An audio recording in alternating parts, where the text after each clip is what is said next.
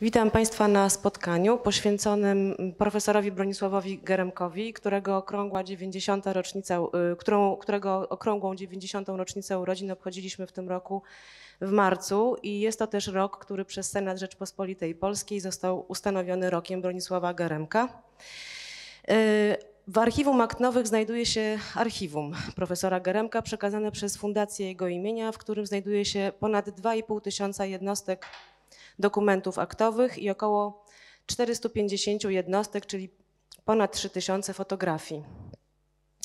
Yy, ogrom tego dorobku został podzielony według wytycznych opracowań spuścizn wypracowanych w Polskiej Akademii Nauk i ten podział wygląda następująco. Są w nim materiały biograficzne, prace, materiały działalności naukowej, politycznej, międzynarodowej i pozarządowej, korespondencja, materiały o Bronisławie Geremku, materiały rodzinne i materiały osób obcych. W dokumentacji aktowej największą grupę, ponad 500 jednostek, stanowią dokumenty z działalności naukowej jako historyka mediewisty. Począwszy od lat studiów na Uniwersytecie Warszawskim, poprzez pracę w Polskiej Akademii Nauk, na Sorbonie w Towarzystwie Kursów Naukowych na Uniwersytecie Latającym, Collège de France, w Katedrze Cywilizacji Europejskiej w Natolinie, wymieniając tylko te najważniejsze ośrodki. Materiały te obejmują artykuły, referaty, notatki, szkice, konspekty, opracowania, recenzje, korespondencję naukową i materiały warsztatowe, w tym także fotografie. W wyniku osiągnięć badawczych w grupie materiałów biograficznych z kolei możemy odnaleźć liczne nominacje dyplomy do odznaczeń, nagród, tytułów doktora honoris causa uczelni polskich i zagranicznych. E, z y, ilości zgromadzonych tekstów, opracowań, konspektów, wystąpień, tez, wielkiej ilości dokumentów widać aktywność profesora Geremka w dziedzinie społecznej, politycznej, dyplomatycznej. Te dokumenty z kolei podzielono na okresy Solidarności, obrad Okrągłego Stołu, Międzyzakładowego Komitetu Strajkowego, a następnie działalność po 1989 roku, między innymi klubach parlamentarnych Unii Demokratycznej, Unii Wolności, jako ministra spraw zagranicznych, a następnie posła do Parlamentu Europejskiego. Znajdziemy tu dokumenty związane z przystąpieniem Polski do NATO i wprowadzeniem Polski do Unii Europejskiej. W archiwum znajdziemy też liczne materiały związane z działalnością w różnych organizacjach, takich jak Komitet Polskiego Czerwonego Krzyża, International Crisis Group, Global Leadership Foundation, Fundacji Jean Monnet, Fundacji Stefana Batorego. W części fotograficznej najwięcej zdjęć pochodzi z wizyt dyplomatycznych z lat 90., to jest z czasów, kiedy Bronisław Geremek był przewodniczącym Komisji Spraw Zagranicznych i ministrem spraw zagranicznych.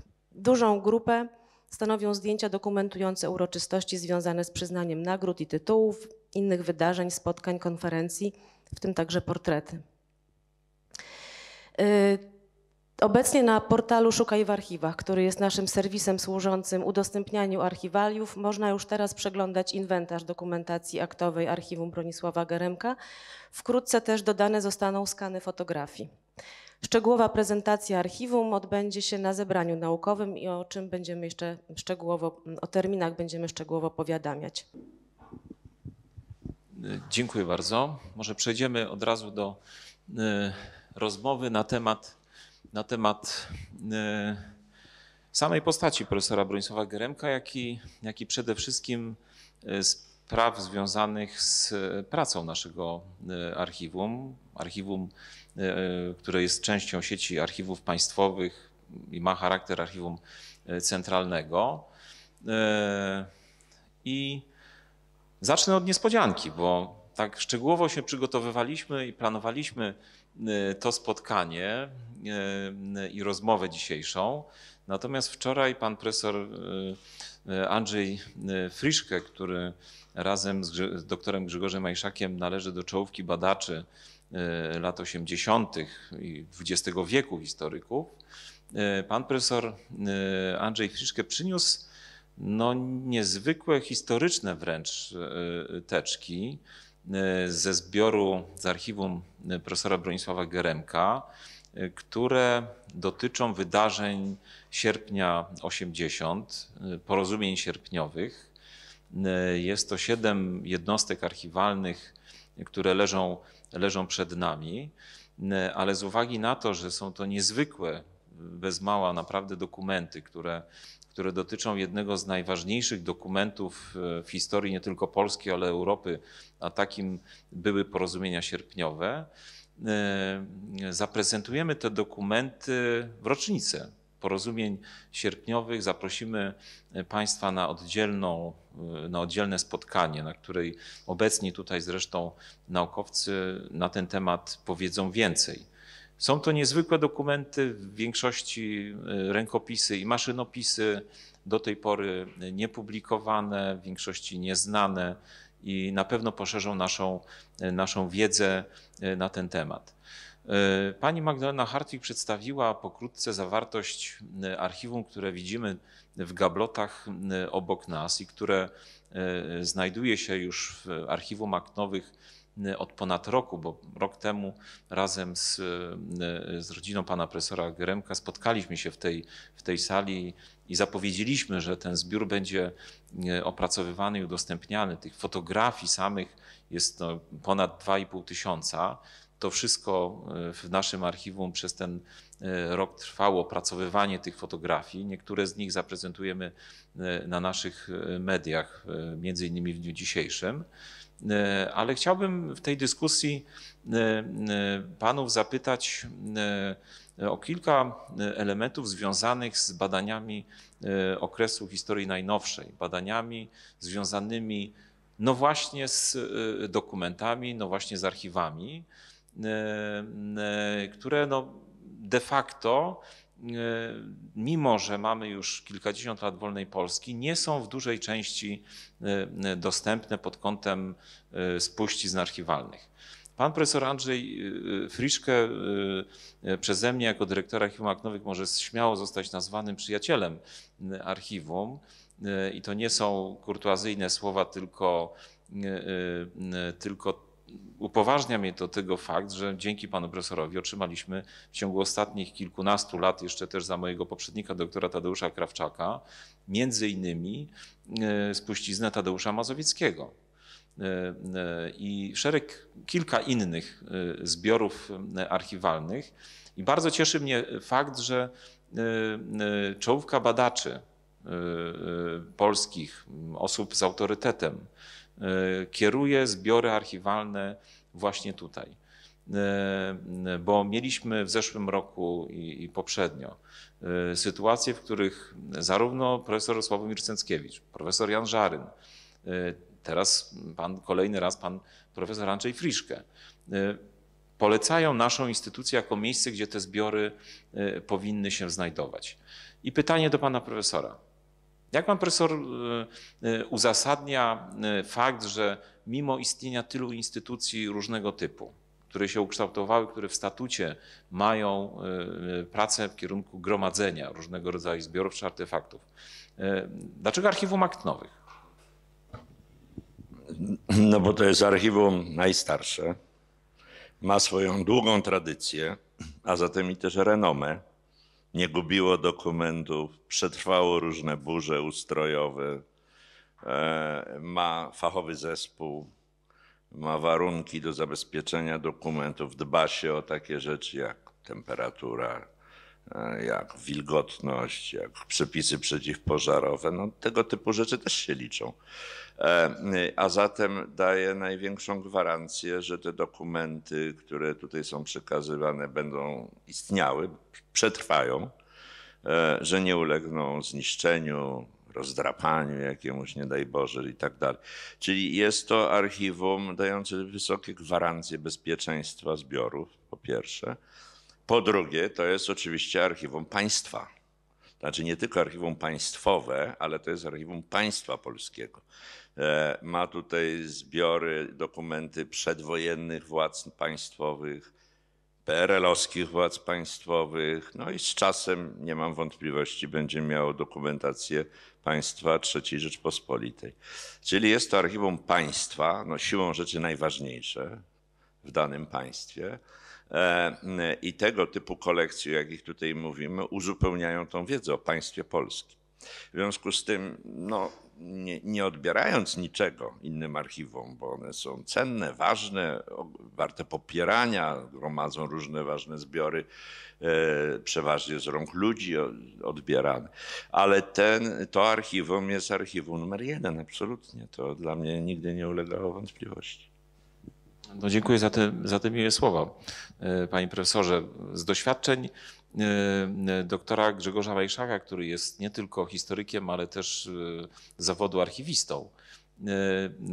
Jak by pan skomentował kwestię rozproszenia źródeł archiwalnych w kontekście badań historycznych? Jaki to ma wpływ na jakość badań, na szybkość badań i kwestie związane z warsztatem? Na ile to utrudnia młodym badaczom, na ile e, młodzi badacze są w stanie poradzić sobie z tym problemem, e, jeżeli zbiory archiwalne są w instytucjach, które de facto czasami nie są dedykowane e, sprawom archiwalnym.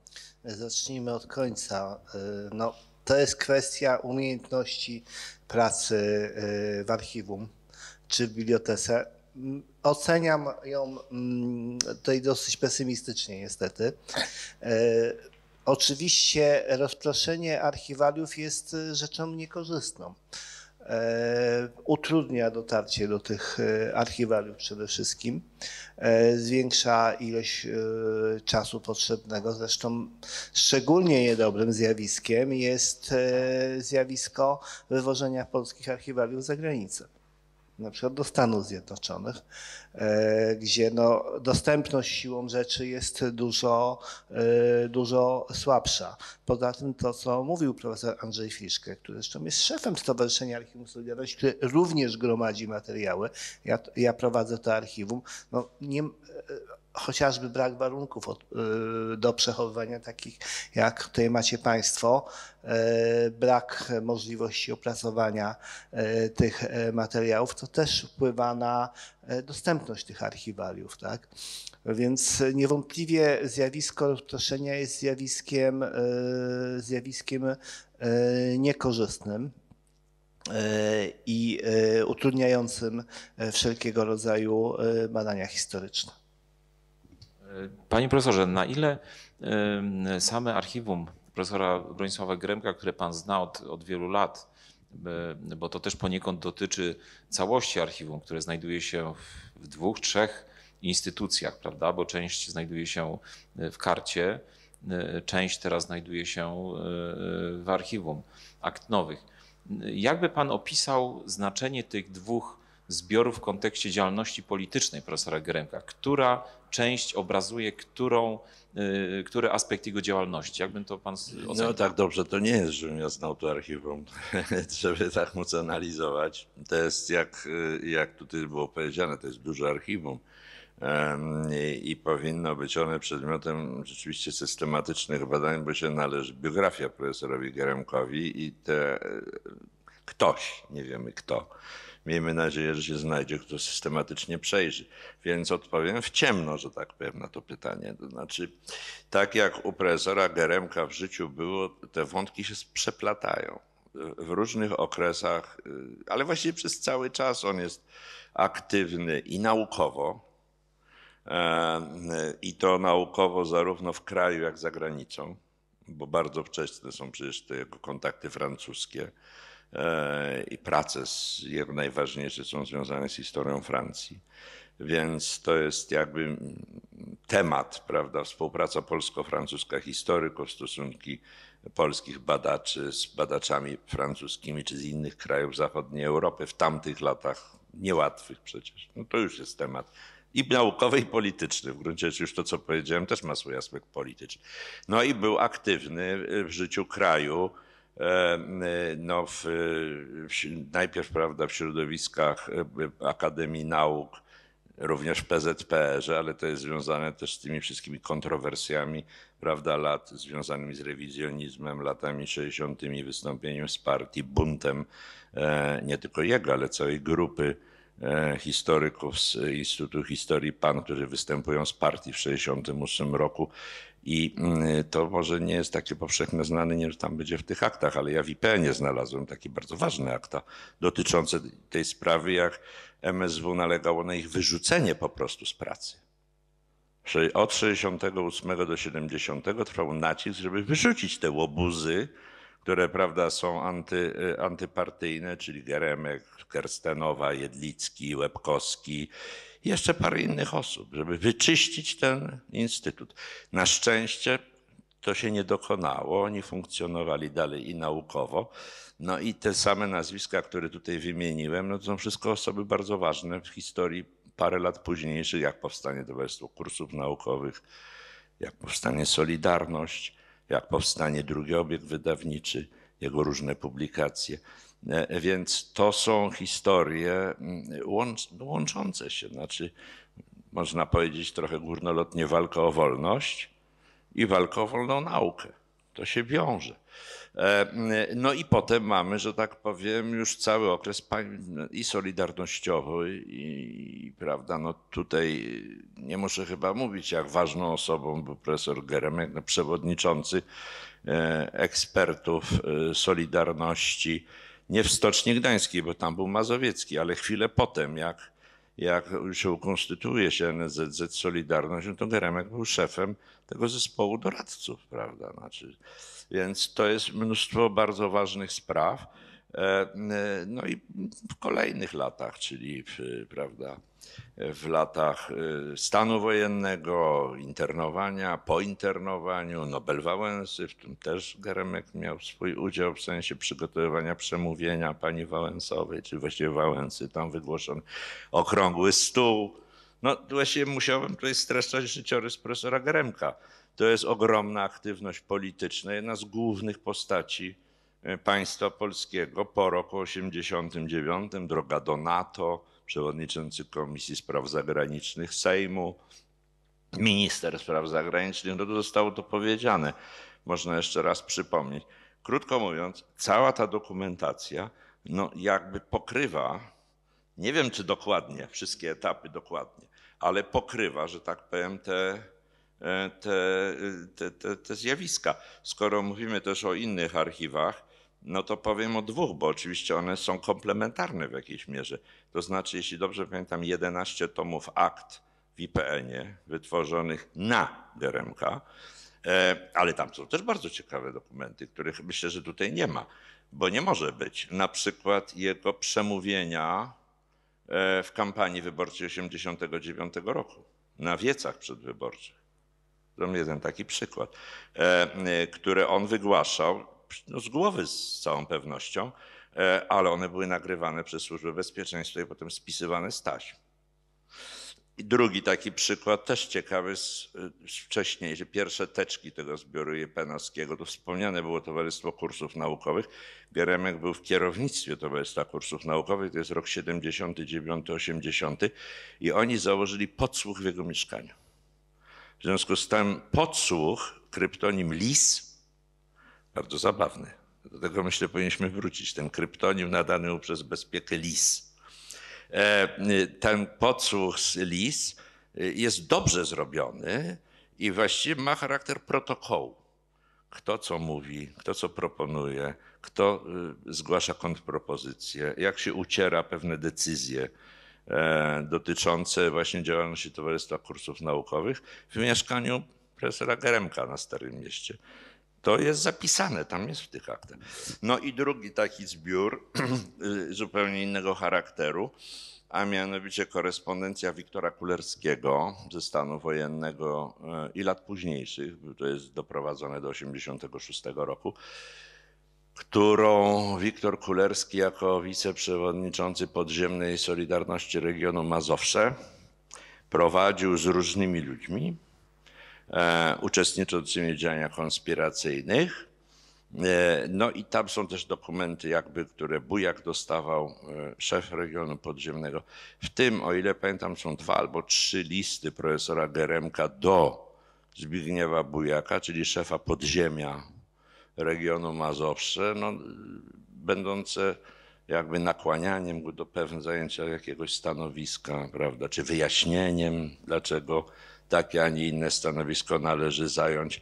Ja zresztą niektóre z tych listów cytowałem w swojej książce o sprawie 11, między innymi dotyczące właśnie e, rozmów o uwolnienie 11 przywódców Solidarności w 1984 roku, no to ja cytowałem z tego listu właśnie.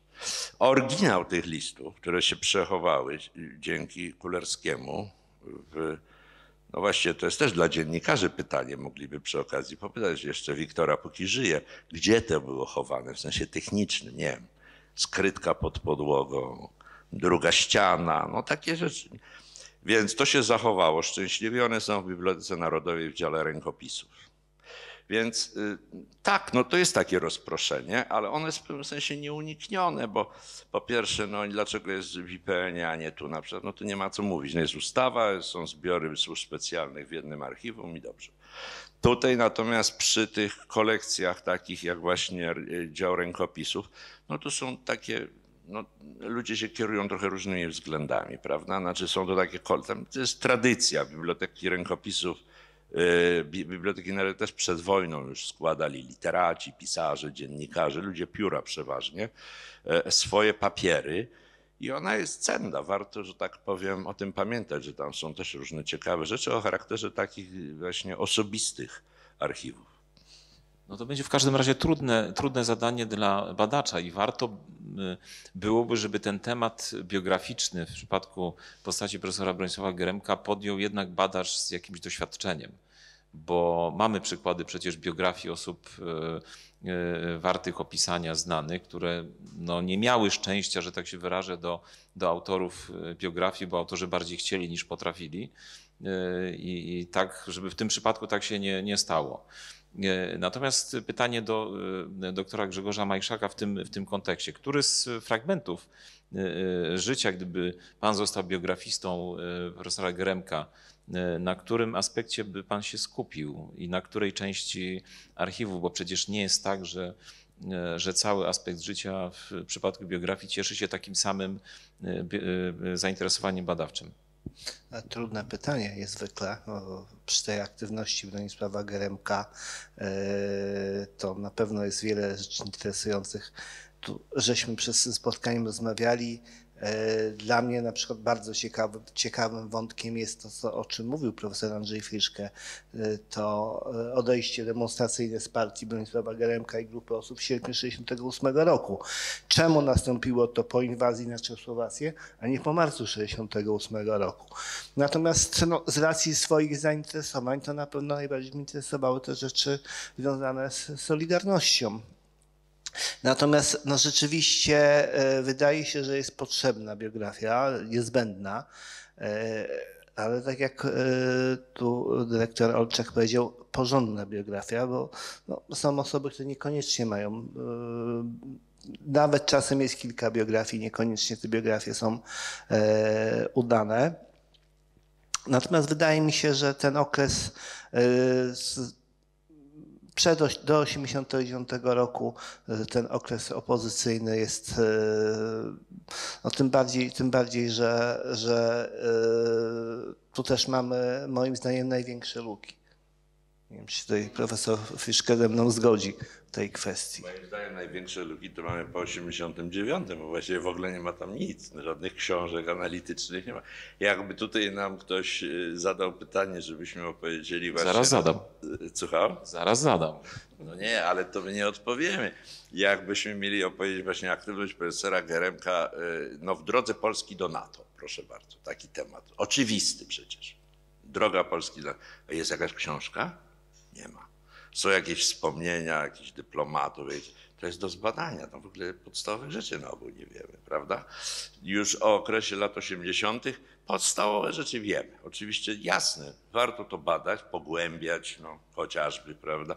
Ale to, to nie to, że coś się całkiem nowego dowiemy, co nam wywróci wiedzę, bo to się nie zdarzy. Już za dużo mamy tych dokumentów, żeby nam się wiedza wywróciła. Natomiast po 89 no nie mamy uporządkowanej faktografii nawet do wielu rzeczy. To znaczy ona może jest, bo to wszystko jawne rzeczy, bo ale jest rozproszone potwornie. Trzeba lecieć gazetami dzień po dniu. Antoni Dudek by się nie zgodził z pewnością. Słuchaj, by się zgodził, przecież ja też z nim gadam o takiej, że on zrobił rzeczywiście książkę o tych czterech pierwszych rządach, prawda? No tam może o Geremku jest mniej, bo on o rządach pisze. No ale też z nim rozmawiałem, ale przecież nie jest w stanie na przykład Wszystkiego, bo też przychodzi pokazać. oczywiście jest- Jak wiemy, rząd, to zaraz Bardzo. parlament się pojawia, prawda? Bo rząd jest zawsze w integracji. No ale on nie był w stanie ogarnąć parlamentu. Tak, to są, początki, to są początki badań. No. Profesor Antoni Dudek oczywiście jest od, od lat naszym y, stałym klientem, jeżeli tak mogę się wyrazić. Jest badaczem, który tutaj korzysta z naszego zasobu, także tego dotyczącego y, początku lat 90., ale tak jak pan profesor Andrzej Fiszkę po, powiedział, no to są początki badań do szeregu innych zbiorów archiwalnych, do opisu tych ważnych wydarzeń jeszcze nie ma jednak mimo wszystko dostępu. Poza tym wchodzi też aspekt dokumentacji zagranicznej, bo to nie tylko przecież jest y, dokumentacja polska, więc jesteśmy na początku. To wiąże się z kolejną, y, kolejną kwestią, którą chciałbym panów y, zapytać, bo działalność archiwum akt nowych y, od jakiegoś czasu teraz będzie bardziej intensywna w kierunku lat 90. właśnie, czyli rozmów, spotkań i archiwów postaci, które wówczas pełniły funkcję. Bo pod tym kątem, pod tym kątem, zresztą pod kątem lat 80., jeżeli przeanalizujemy archiwa instytucji publicznych, nie tylko archiwum akt nowych, to jesteśmy tak naprawdę na początku, na początku drogi pod kątem dokumentowania archiwów tych osób które pełniły funkcje. Wiadomo, że nie wszystkie miały inklinacje dokumentalistów czy osób, które zachowują sobie dokumenty, ale po analizach, jakie tu przeprowadziliśmy w Archiwum Akt Nowych, no to jest to kilka procent de facto tych najważniejszych osób funkcyjnych z lat 80. i 90. jeszcze jest gorzej z tym, e, e, pod kątem właśnie zabezpieczenia zbiorów archiwalnych. E, W kontekście nawet postaci profesora Bronisława Geremka i przyszłych e, prac na jego temat i biografii to na pewno spuścizny osób, które współpracowały, konkurowały, zgadzały się, nie zgadzały, czy były wręcz w konflikcie, e, będą wartościowe do opisu pewnych e, zdarzeń. I tu w przypadku archiwum akt nowych e, postaci lat 80., 90., postaci ich archiwów, no mamy, mamy z jednej strony dużo, bo dużo względem innych instytucji, ale mało, jeżeli spojrzymy na, na wykazy osób funkcyjnych z tamtych lat, bo y, i mamy y, archiwum y, Zbigniewa i Zofii, Zofii Zbigniewa Romaszewskich, mamy archiwum Władysława Siły Nowickiego, mamy wspomniane archiwum y, premiera Tadeusza y, Mazowieckiego, fragment archiwum y, Jacka Kuronia, które nam Andrzej Kuroń, brat, przekazał. Prawda? Druga część jest też podobnie jak w przypadku profesora Gremka w karcie. Mamy Konrada Maruszczyka e, zbiory, prawda? Mamy Kazimierza Mordzińskiego tutaj z Warszawy, czy działaczy Konfederacji Polskiej Niepodległej, czy Solidarności Walczącej. Natomiast daleka droga do tego, żeby e, te e, biografie w postaci ich archiwów móc opisywać. Lepiej już jest w przypadku partii politycznych, bo e, w archiwum akt przecież mamy e, akta partii z lat 90., te, które wtedy działały. W zasadzie większość z tych e, ugrupowań nam te archiwa przekazały. E, Jakby pan profesor e, e, widział drogę, czy możliwości przekonywania tych jeszcze czasami aktywnych, aktywnych polityków, i tu chyba jest główny problem, no w tym, żeby w przyszłości, nie mówię teraz, zabezpieczali te zbiory archiwalne. E, Co pan profesor by im powiedział, czy wręcz co pan profesor im mówi e, w kontekście zachowywania tych dokumentów, żeby nie było sytuacji, że za 10-15 lat będziemy odnajdywać e, w, w różnych dziwnych miejscach i na śmietnikach zbiory, które opisują naszą najnowszą historię. Bo to w naszej tej codziennej pracy mozolnej archiwistów, którzy rozmawiają z tymi postaciami, rodzinami, organizacjami, no stanowi największy, największy problem. Mniej więcej to mówię im, e, co pan dyrektor przed chwilą powiedział. E, e, I zachęcam oczywiście, ale trzeba powiedzieć tak, znaczy ludzie są różni oczywiście i jedni sobie takie archiwa budują, a inni nie bardzo. I to się gdzieś tam rozprasza, nie, nie jest e, przytrzymywane, więc to nie każdy, nie każda osoba publiczna ma archiwum. Znaczy, no, ma, każdy ma jakąś teczkę, chociażby swoich akt personalnych, które są potrzebne, ale to też jest ważne oczywiście. Natomiast, y, natomiast y, mm, no, generalnie, że tak powiem, mówię właśnie to, co pan powiedział, znaczy, że to jest ważne dla historii, y, dla zachowania pamięci o danej osobie.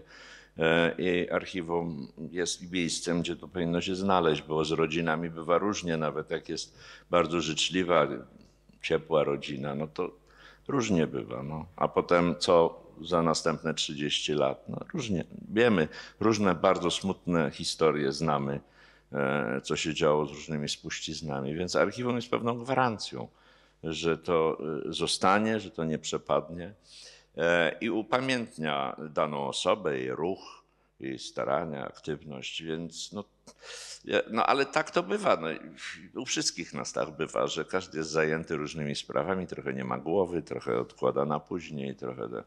Ale oczywiście, że trzeba przekonywać, bo też mamy właśnie takie doświadczenia złe. No, nie, nie, nie powiem, że z ostatnich lat, ale y, zwłaszcza z okresu właśnie przełomu 89-90, e, to się najczęściej mówi właśnie o niszczonych aktach bezpieki, prawda? E, To my wiemy, ale przecież ile archiwaliów szlak trafił wtedy.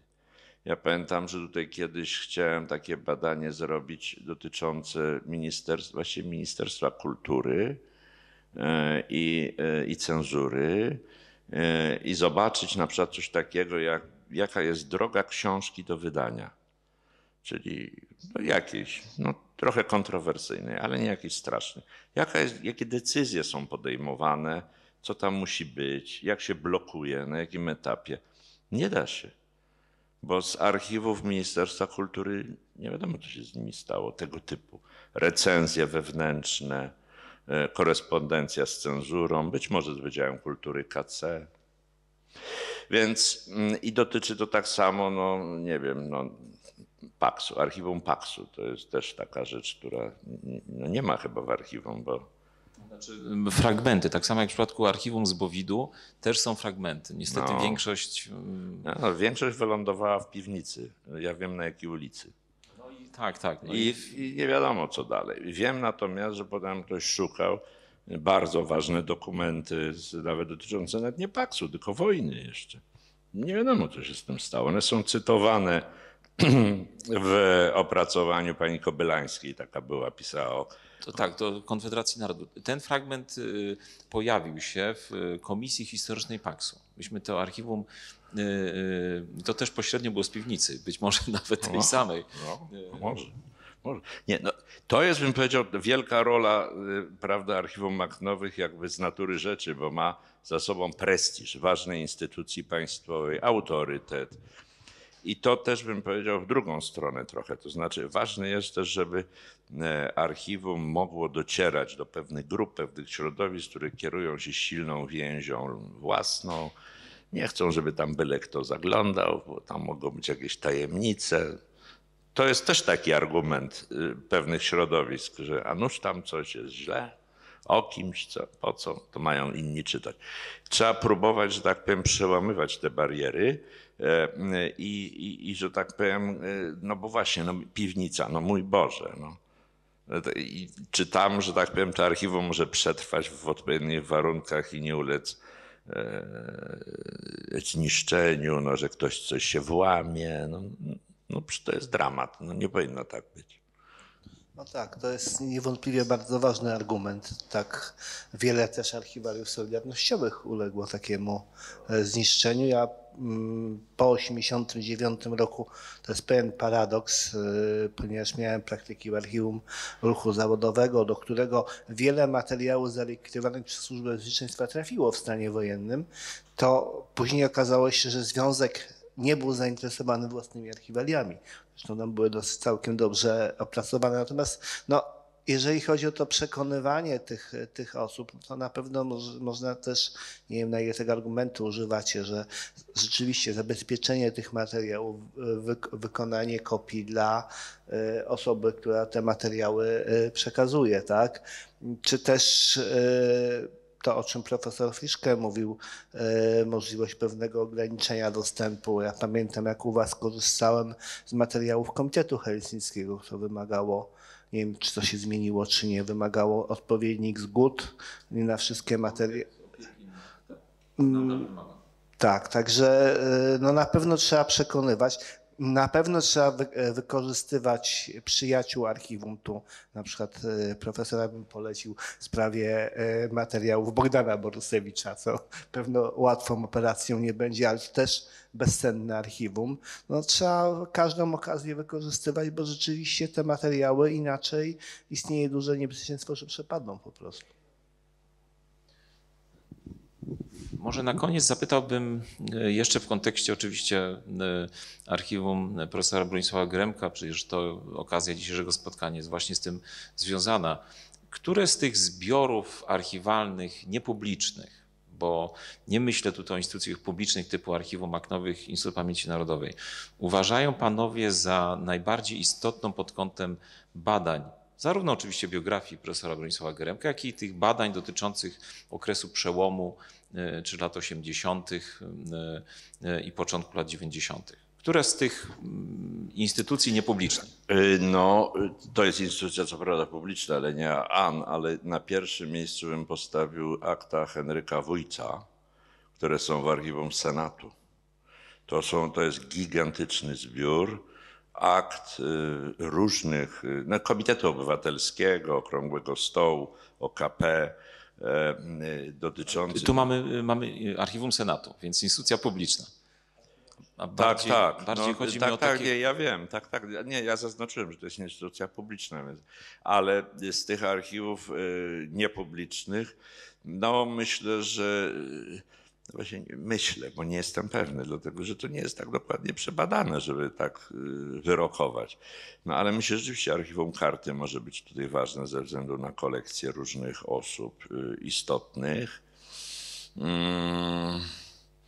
No nie wiem, no, również myślę, że te rękopisy też mogą być istotne. Ja w swoim czasie przeglądałem, bo robiłem książkę przy- wydawaniu dzienników Woroszylskiego. No tam też były bardzo ciekawe rzeczy, których ja gdzie indziej nie widziałem.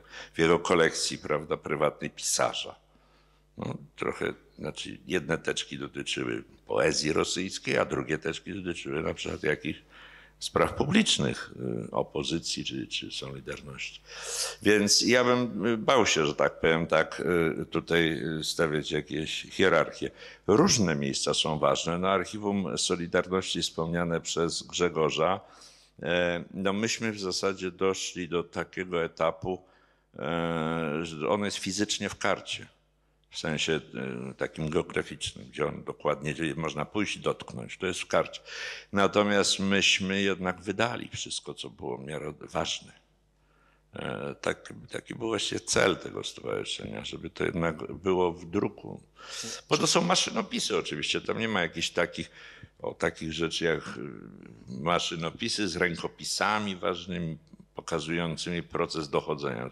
Tam są po prostu spisane z taśm najczęściej te, Popraw mnie, Andrzej, jeżeli się mylę, bo No. w filmach, które przekazywałeś do stowarzyszenia, chyba też były twoje rozmowy z Bronisławem Geremkiem.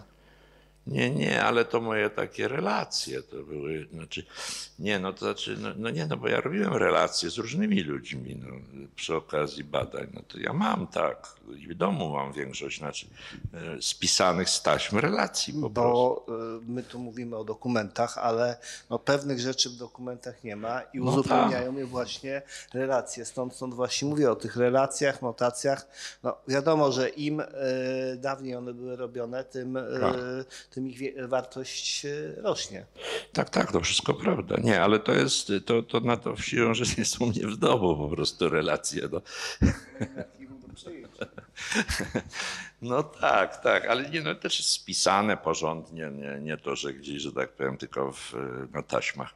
Więc yy, no tak, zgoda, ale masz rację. Oczywiście relacje, nie, różni ludzie robili relacje do różnych badań i te relacje są, yy, myślę, że w różnym stopniu zagospodarowane, prawda? W związku z tym, e, no tak, to, to co powiedział kolega Majchrzak, im dawniej robione, prawda, e, tym są cenniejsze, bo pamięć jest świeższa i, i należy o to dbać, tak, żeby to nie, nie, nie przepadło, nie zaginęło. E, No, te relacje są w różnych miejscach dzisiaj, bo są i w Domu Spotkań z Historią, w Europejskim Centrum Solidarności, bo one systematycznie takie materiały badały. Mm, e, Kiedy mówimy o Solidarności, no to chyba to trzeba właśnie wspomnieć. Relacje, które robiła Janina Jankowska e, w latach 80., przed 89 rokiem z przywódcami Solidarności, no to dzięki Bogu, między innymi tu się poczuwam, tak, bo to ja ją e, nieomal siłą zmusiłem, żeby zrobić tą książkę i to wydać, e, spisać z taśm, jak najbardziej, bo to było w formie taśm niespisanych w znacznej części. W związku z tym, e, no to jest wydrukowane. A gdzie są e, te nagrania, te, te, te taśmy, no to Jankowski trzeba pytać, bo ona to jakby miała w piwnicy właśnie. Kolejny No tak, czyli kolejna, kolejna sprawa dla archiwum aktowych. Pytanie do y, y, doktora Grzegorza Majeszaka to samo. No, instytucje niepubliczne, które byś jeszcze wskazał? No, Myślę, że tutaj też bym się tego y, nie podjął, bo y, rzeczywiście y, karta wydaje się takim y, miejscem najbardziej prawdopodobnym, natomiast y, rzeczywiście nie mamy tego na tyle rozpoznanego. To jest to rozproszenie, o którym ja wcześniej wspominałem, że ono jest zjawiskiem negatywnym, że ono ma pewien pozytywny efekt taki, że no, Niektórzy do, powiedzmy, do karty by materiały przekazali do archiwum aktowych, już niekoniecznie. Mm, e, Natomiast, natomiast e, my w znacznej mierze też nie wiemy, co w tych archiwach jest, bo w tych archiwach rzeczywiście w najdziwniejszych miejscach znajdują się najdziwniejsze rzeczy. Przypomnę Tobie, Mariusz, że na przykład w wspomnianych aktach Tadeusza Marusczyka e, też są bezcenne rzeczy, które, które się udało odnaleźć, bo tośmy w stowarzyszeniu wydali e, przed laty ostatnią komisję krajową 11-12 grudnia. I to była taka historia, że z Olsztyna, jak wynikało tylko z dokumentów SB, bo w wyniku redakcji przez redaktorkę te rzeczy uleciały. Było wiadomo, że z przy, na tą krajówkę dotarło bardzo dokładna informacja o pierwszych ruchach w ramach stanu wojennego. I w tych materiałach Maruszczyka są te teleksy, które spływały na e, Komisję Krajową. Także e, czasami w naj, e, najdziwniejszym miejscu znajdują się bardzo ciekawe, najciekawsze materiały. Mm, Także też nie podejmuję się do końca na Twoje pytanie e, odpowiedzieć. No, Ja bym chciał jeszcze jedną rzecz, jeśli wolno, tak króciutko, bo trochę do tego, co wcześniej było powiedziane. E, W świadomości ludzi zwykłych, że tak powiem, ale jak mówię zwykłych, to też dotyczy to działaczy politycznych, wybitnych dziennikarzy, naukowców. Archiwum Akt Nowych funkcjonuje potocznie jako archiwum e, właśnie instytucji państwowych. E, I oni to kojarzą, że tam ministerstwa, akta. przykład. E, Natomiast słabo funkcjonuje moim zdaniem taka potoczna wiedza, że ono jest też zainteresowane kolekcjami osób prywatnych. I wiele osób jakby sobie z tego trochę nie zdaje sprawy, że można tam przekazać. I tak się zastanawiam, się, to ja sam jak nie wiem, ze Stomą rozmawiałem, której tu, prawda, namówiłem, żeby on tutaj przekazał swoje archiwum, to on no, też tak nie był, nie to, że on miał coś przeciwko, tylko on kojarzył, że archiwum akt nowych to jest od archiwum od ministerstw. A dlaczego ja mam, prawda? No tak, tak. To jest wynik tych wielu, wielu lat, e, kiedy na tym froncie nic się nie działo, do tak końca lat e, e, 90. I, e, to jeszcze e, poniekąd ten, e, ta opinia e, kołacze nadal w, wśród osób, które pamiętają archiwum aktowych z lat 80., 70. i, e, i wcześniejszych. Co do karty, no, nasi współpracownicy z karty, jak odwiedzają archiwum aktowych, zresztą Zbigniew Gruza podkreślał sam, że no prędzej czy później archiwum karty będzie w archiwum akt nowych. Więc to jest też przyszłość, bo my jako instytucja, która ma ponad 100 lat, no de facto jest miejscem y, tego ostatniego portu dla szeregu różnych inicjatyw archiwalnych. Y, Przejęliśmy Towarzystwo Pamiętnikarstwa Polskiego, instytucję, która przecież, stowarzyszenie, które działało bardzo prężnie w latach 60., 70. W zbierając ogromne, ogromne archiwum.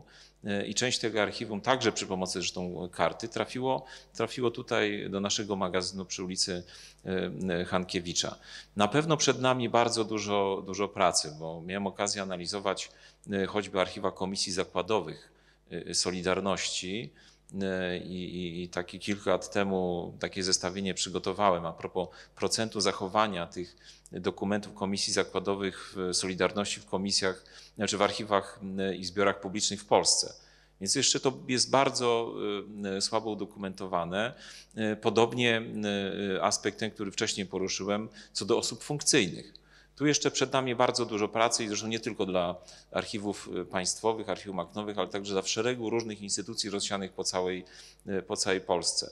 Jakimś e, na pewno pomocniczym materiałem jest wydany w zeszłym, w zeszłym roku przez archiwa państwowe tom źródeł i tom de facto opisu poszczególnych archiwów pod kątem zachowania ich w sieci archiwów państwowych.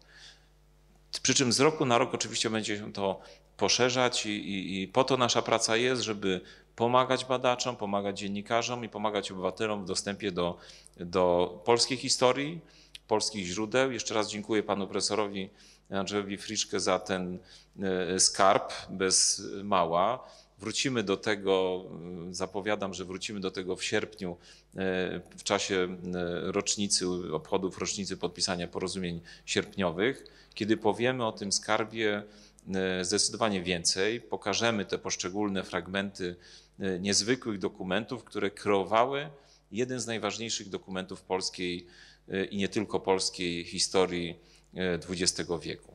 Dziękuję bardzo za rozmowę, panie profesorze, dziękuję bardzo za rozmowę, panie doktorze, dziękuję państwu.